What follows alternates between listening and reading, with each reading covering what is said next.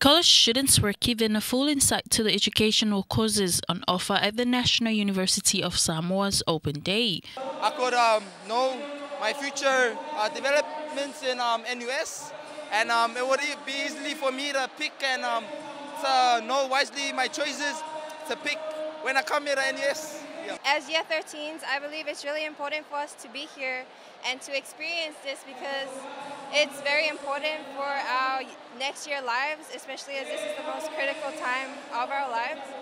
Uh, personally as well, I really enjoy that we're given this opportunity to come here because it helps us make choices um, next year that will be reflected in our studies and for our future. This occasional, this event was props about um, us knowing little kids, knowing about what we're going to take um, while growing up, and for us to tour around this building and know what we're going to take and to observe of what we're going to do.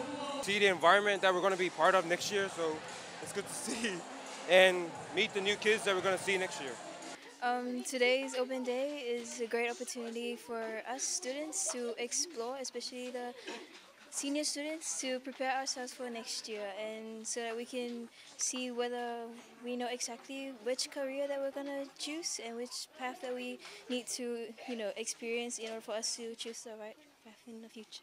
To help boost interest and encourage students to pursue higher education, the newly crowned Miss Samoa was on hand. We're here at the National University of Samoa opening day. It means a lot to me that I'm here because I'm a firm believer in the value of education and the power that it has in creating a better future for individuals, for families, for the community and ultimately our country. Ms. Samoa Fonoifafo says education is the key to success. As a qualified nurse, she is an example of what can be achieved when you make education a priority in your life. I would like to commend all the students who have made it this far and encourage them all to continue in their education. And there's always room for us to learn more and education changes lives. It changes the way we think, it changes the way we act, and most importantly, it changes the way we live.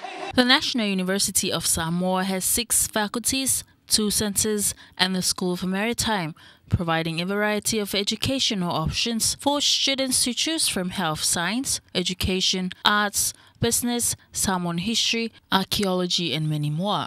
Alisa Lawano Maoni for Tala Fou.